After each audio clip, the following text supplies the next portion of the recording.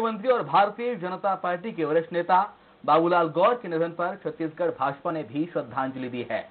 पूर्व मुख्यमंत्री डॉक्टर रमन सिंह ने बाबूलाल गौर से जुड़ी अपनी स्मृतियों को साझा करते हुए उन्होंने श्रद्धांजलि दी। रमन सिंह ने कहा है कि हम सबके लिए ये दुखद समाचार है। हमारे वरिष्ठ नेता, जिन्होंने न जाने कितने दायित्वों का निर्वहन किया, वो आज नहीं रहे। हमारे बीच नहीं है। निश्चित रूप से प्रदेश की राजनीति में बाबूलाल गौर का एक अलग स्थान है, रहा है। उस स्थान को कोई भर नहीं सकता।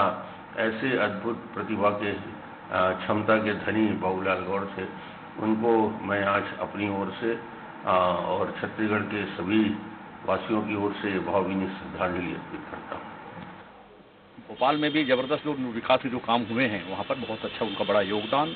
आज इस अवसर पर मैं भारतीय जनता पार्टी की ओर से हमारे वरिष्ठ नेता रहे बाबूलाल गौर जी जो आज इनका दुखद निधन हुआ है। इस अवसर पर उनको मैं विधम, विनम्र श्रद्धांजलि अर्पित करता हूँ। इस अवसर पर उनके परिवारजनों को दुख को सहन करने की शक्ति प्रदान करे और उनके आत्मा को ईश्वर उचित स्थान दे। मैं यही प्रार्थना करता हूँ।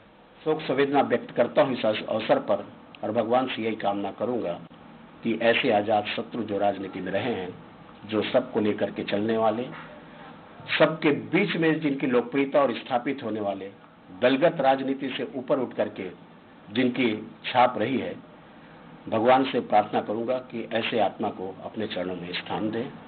साथ ही इस असह्य दुख के घड़ी में परिवार को भी दुख सहने की क्षमता प्रदान